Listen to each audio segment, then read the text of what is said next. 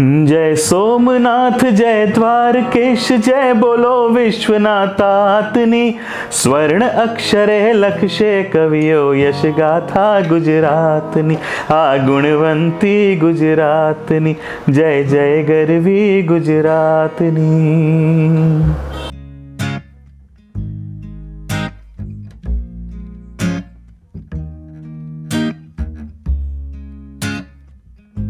ये पैर आ रहा है क्या? नीचे का?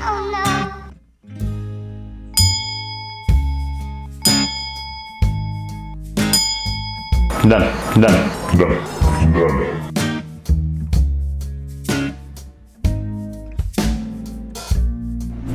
मेरा जन्म बड़ौदा से पास में सावली जहाँ पर मेरे नाना बहुत साल तक रहे हैं, वहाँ पर हुआ। और जनवरी की दो तारीख को मेरा जन्म हुआ था, तब काफ़ी सर्दी थी, ऐसा मुझे बताया गया है। और बड़ौदा मैं आया लगभग when I was in the seven standard तो तब से मैं बड़ौदा में ही हूँ, मैं रोजरी स्कूल में पढ़ा हूँ। और उसके बाद मैं ग्रेजुएशन के लिए अहमदाबाद गया सेंट जेवियर्स कॉलेज में पढ़ा।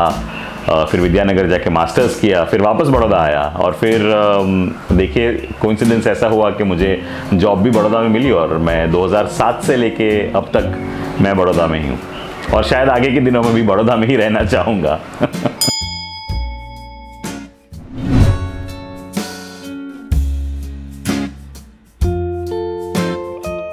वैसे देखा जाए तो ये बहुत डिफ़िकल्ट क्वेश्चन है, क्योंकि ये वीडियो फिर बहुत सारे लोग देखेंगे भी तो मैं नहीं चाहता हूँ कि घर में कोई कंपटीशन बन जाए, पर बहुत बहुत स्वाभाविक बात है कि पेरेंट्स का माता पिता का सबसे ज़्यादा प्रभाव होता है, और क्योंकि दोनों की क्वालिटीज़ बहुत अलग अलग हैं तो उसका मुझे बहुत सारा फ़ायदा मिला है। जैसे, जो मेरी माता जी हैं, वो टीचिंग व्यवसाय से, जुड़ी हुई थी, और, उनको आर्ट लिटरेचर में बहुत ज़्यादा शौक है, आज भी है।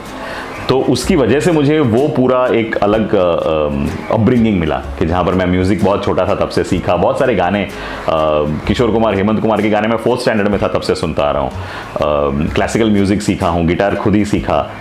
हमेशा हमारे घर में जब भी कोई गैदरिंग होती है तो सिर्फ़ म्यूजिकल गैदरिंग होती है। कभी ऐसी नॉर्मल गैदरिंग होती नहीं है। तो ये सब अपब्रिंगिंग या ये सब जो कैरेक्टरिस्टिक्स हैं, ये पूरा मम्मी की तरफ़ से आया पिताजी बैंक में थे। तो मैं नहीं कहूँगा कि मैं उतने उनके जितना फाइनेंशियली पावरफुली मैनेज कर सकता हूँ सब पर वो साइड का जो भी एंगल है वो सब पिताजी से आया है। तो पैसे कैसे आ, कमाने हैं या कैसे बचा के रखने हैं या कहाँ खर्चने हैं कहाँ इन्वेस्ट करने हैं वो सब जो भी नॉलेज है वो पूरा पिताजी की ओर से आया है। मैं पिताजी के पिताजी मतलब अपने दादा से तो कभी मैं मिला नहीं क्योंकि पिताजी के शादी से पहले ही उनका देहांत हो चुका था। पर उनके बारे में बातें बहुत सुनी। वो उस ज़माने में साउथ अफ्रीका गए थे और वहाँ पर जाकर उन्होंने बिजनेसेस किए थे। तो ये जो बैंकर नाम है वो वहाँ से आया है क्योंकि वहाँ पर वो जो पैसे देने का या जो काम होता है, वो काम वो उस ज़माने में किया करते थे। मुझे ऐसा लगता है कि हम जब पूर्वज की बात करते हैं तो सबसे इंपॉर्टेंट ये है कि उन्होंने जो भी बनाया, जैसे भी बनाया, उनसे ही हम हैं। और वो रूट्स जो हमारे पास हैं, हम जिस शहर में रहते हैं, इस शहर का नाम वड़ के जो जो बैनियन ट्री है, उससे जाना जाता है। और वो बैनियन ट्री इसीलिए जाना जाता है क्योंकि उसके रूट्स बहुत डीप होते हैं। और तभी वो सालों साल, सौ साल, दो साल तक, दो सौ साल तक वो ट्री टिका रहता है बिकॉज़ उसके रूट्स बहुत डीप हैं।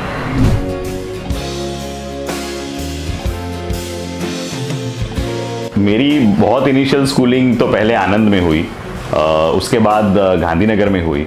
पर मेरे स्कूलिंग का सबसे इंपॉर्टेंट फ़ेज़ में अगर कोई गिनता हूँ तो वो रोजरी है। जब मैं सेवन स्टैंडर्ड से वहाँ पर जुड़ा। मैं पहले एक छोटी जगह से आया था तो तब मुझे थोड़ा सा रोजरी में ये हो रहा था कि यार, यहाँ तो सब कैसे करेंगे, क्या करेंगे? पर मुझे एक एक चीज़ मुझे मेरे पिताजी ने, मैं बहुत छोटा था, तब से सिखाई थी कि बेटा क्लासरूम में कोई भी अनाउंसमेंट हो तो अपना हाथ ऊपर कर देना कि मैं पार्टिसिपेट करूँगा, चाहे कुछ भी हो।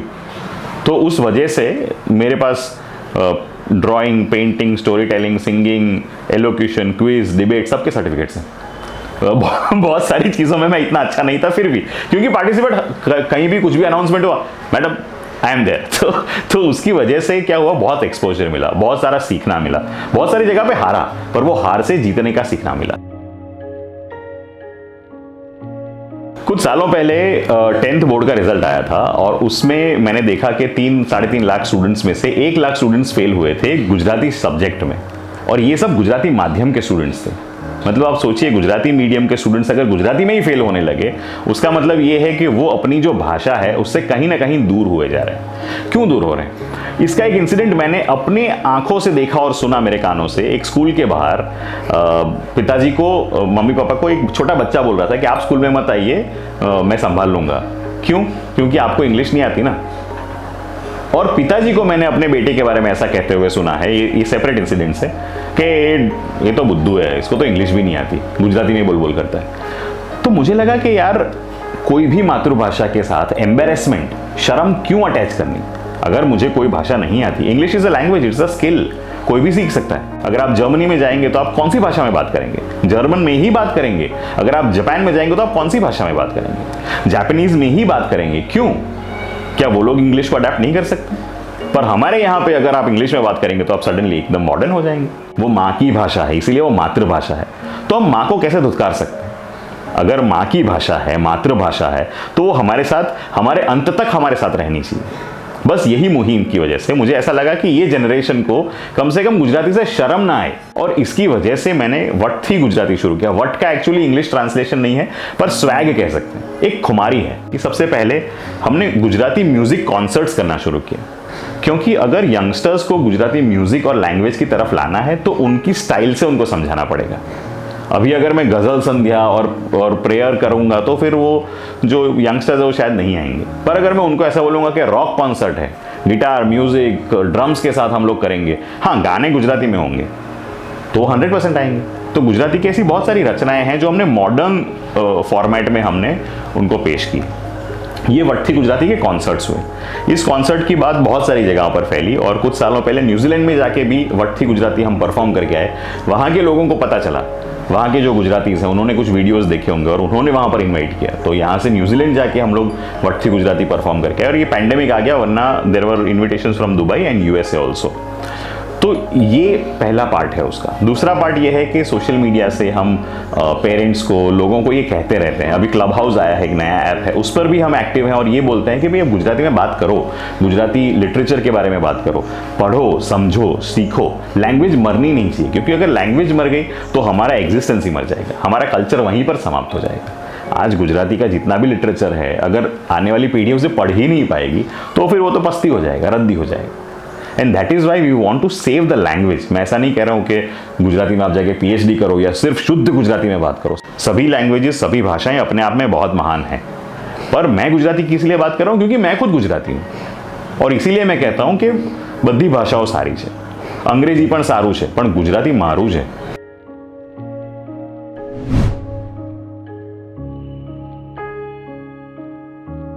देखिए, हम हमारे फैमिली की वजह से हैं। We are what we are because of our family अगर हम अपनी फैमिली को नहीं जानेंगे तो हम खुद को कैसे पहचानेंगे? इसीलिए खुद की फैमिली को, खुद के रूट्स को जानना, पहचानना बहुत ज़रूरी है। और ये जो अब हम कर रहे हैं अगर हमने हमारे पूर्वजों को जाना है तो हमारे बारे में हमारी आने वाली पीढ़ियाँ जाने, उसके लिए अभी से उसका रिकॉर्ड होना बहुत ज़रूरी है। तो मुझे लगता है कि जो कुलवृक्ष कर रहा है, वो जो रिटर्न उसका रिटर्न या डॉक्यूमेंटेड किसी भी फॉर्म में हमारी आने वाली पीढ़ियाँ आज दो, तीन, चार पीढ़ी के बाद कोई सोचेगा कि अच्छा दो हज़ार बीस में कौन रहता था बड़ौदा में? अच्छा वहाँ तब रेडियो हुआ शायद वो चार पीढ़ी बाद तो उनको पता भी नहीं होगा कि रेडियो क्या होगा। तो उनके लिए तो एक इन इट एक अचरज, एक सरप्राइजिंग चीज़ हो जाएगी। पर शायद अगर वो वो मेरा कोई वीडियो देख पाए, छोटी क्लिप देख पाए या मेरे बारे में लिख लिखा हुआ पढ़ पाए तो मेरे ख्याल से वो मेरे लिए भी, जहाँ भी मैं तब दुनिया में यूनिवर्स में मैं होऊँगा तो तब मुझे भी शायद बहुत अच्छा लगेगा। So I think this is a fantastic thing आप जो कर रहे हैं। लिखना डॉक्यूमेंट करना बहुत ज़रूरी है, और ये आने वाली पीढ़ियों के लिए एक हमारी तरफ़ से एक छोटी सी भेंट होगी।